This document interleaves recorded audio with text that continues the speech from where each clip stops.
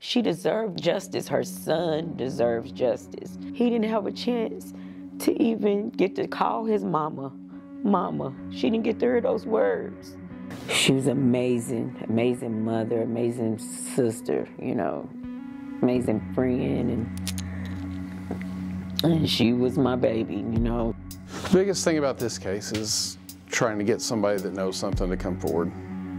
I mean, somebody knows who did it, but she was sleeping on the couch, and sometimes she was contacted by her friend. Uh, went downstairs and was sitting in her mother's car that they came in, and we're sitting out there talking. Bree was in the driver's seat. A little bit later, two males in hoodies, and they walk down, back down towards the car.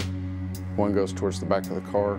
One's walking by the front. The one by the front pulls a pistol out, starts shooting in the car as well as the guy that was standing from behind the car.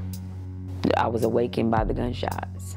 She was laying on the sidewalk. I got down to her, to them, and she was trying to talk to me and tell me that she couldn't breathe. You know, she couldn't breathe, and I told her, don't talk, just keep her eyes open, just continue to look at me. Somebody knows. I just pray that they find it on their heart to just tell, you know, say something. They took it all away from them for no reason. No reason at all. And it's not fair.